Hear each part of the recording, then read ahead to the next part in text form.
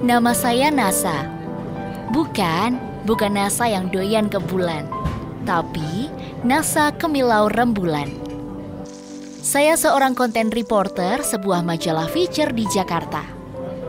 Yang menarik dari profesi ini, saya bisa mengenal sesuatu jauh lebih dalam dari orang lain, termasuk di artikel ini. Iya, saya sedang menulis sebuah artikel tentang perkembangan agama Islam di kota Surakarta zaman dulu. Saya mulai dari pusatnya ya, Masjid Ageng Keraton Surakarta. Mungkin orang hanya tahu ini adalah masjid tua, klasik, jadul dan luas. Tapi setelah ke sana, saya jadi yakin bangunan itu adalah saksi sejarah di mana agama Islam menyebar bak tumbuhan perintis selepas gunung meletus. Agama Islam menyeruak masuk ke dalam jiwa orang zaman dulu lewat satu hal yang lekat dengan kehidupan. Lewat budaya. Warna biru muda mendominasi seluruh bagian masjid. Usut punya usut, warna biru muda lekat dengan warna keraton. Warna ini melambangkan lautan yang tenang dan dalam, serta langit yang tinggi dan luas. Halo semuanya, saya sekarang berada di Masjid Agung Keraton Surakarta. Nih tempatnya. Rencananya saya mau ngeliat tempat ini lebih dekat lagi. Yang konon katanya tempat ini menjadi pusat penyebaran agama Islam di Surakarta. Yuk kita lihat. Rasa penasaran pun membawa saya berjalan ke salah satu bangunan di selatan masjid. Di sana saya bertemu dengan seorang takmir masjid. Namanya Abdul Basit Adnan. Ia bercerita tentang sejarah Masjid Ageng Surakarta ini. Saya sebenarnya tertarik banget gitu sama bangunan ini. Ternyata banyak yang nggak saya tahu gitu. Sebenarnya awal mula sejarah dari Masjid Agung Keraton Surakarta ini gimana sih Pak? Jadi Masjid Agung ini didirikan pada masa Pakubono yang ketiga. Karena pada waktu itu perkembangan Islam baru pesat dengan adanya kerajaan Islam Demak. Sehingga peran raja ini tidak hanya sebagai kepala pemerintahan juga penyebar agama Islam. Maka dia bangun masjid yang pada waktu itu terinspirasi bangunannya oleh Masjid Agung Demak ya jadi Masjid Agung Demak ini menggunakan arsitektur rumah joglo yang difungsikan sebagai uh, masjid.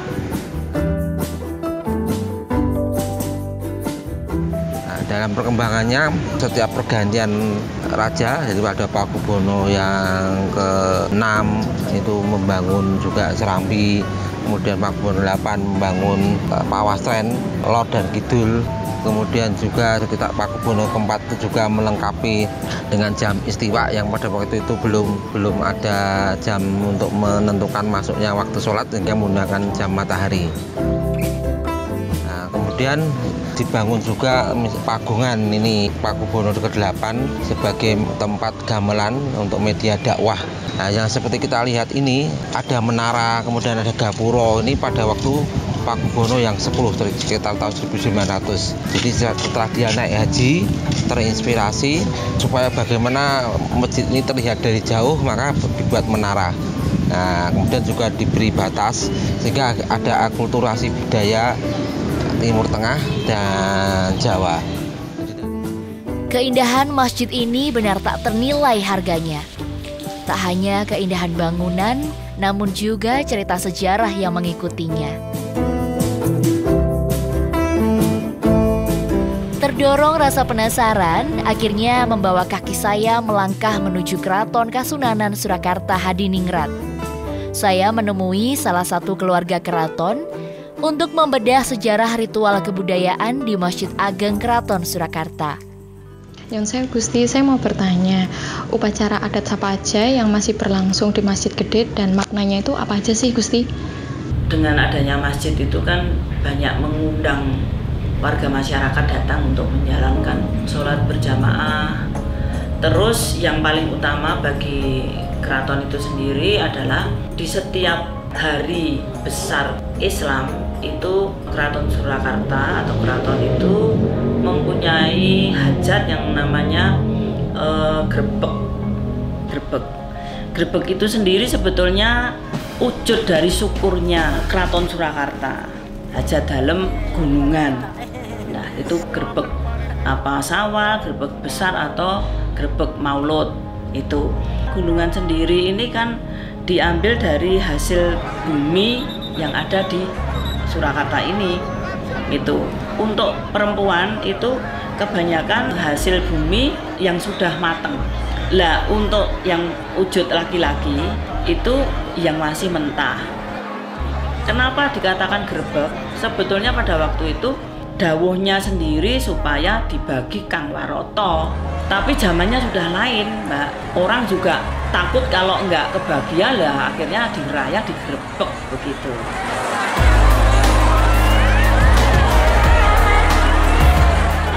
Sakaten itu sendiri kan sebetulnya diambil dari sahadaten di mana pada waktu itu untuk kepentingan siar Islam makanya gamelan itu banter banget di tabuh sak kayang-kayangnya bahkan dulu siapa yang bisa mematahkan penak tabuh gamelan itu malah dapat hadiah.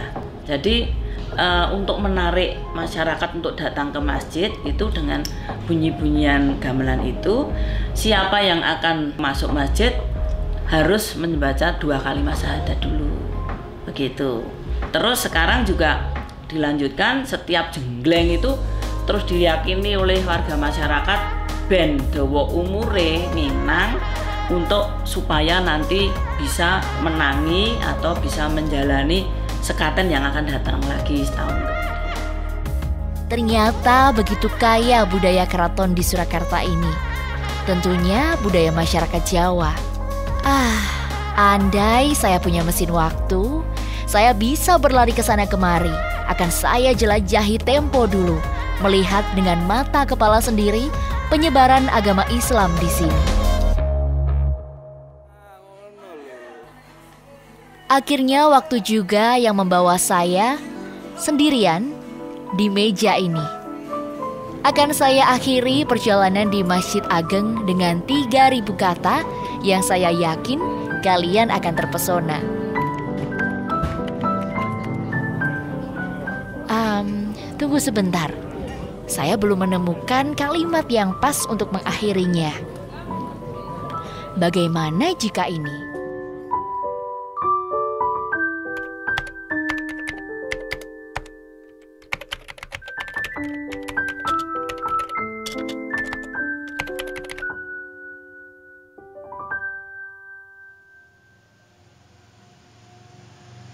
أن